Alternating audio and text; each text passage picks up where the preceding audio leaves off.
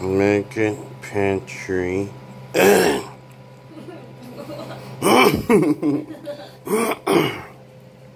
Kosher dill snacks.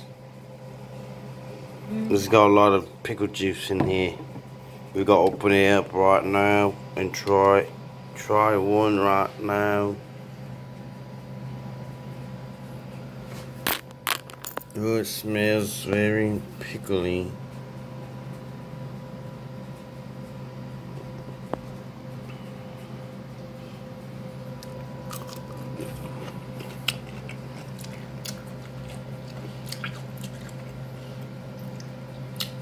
Not bad.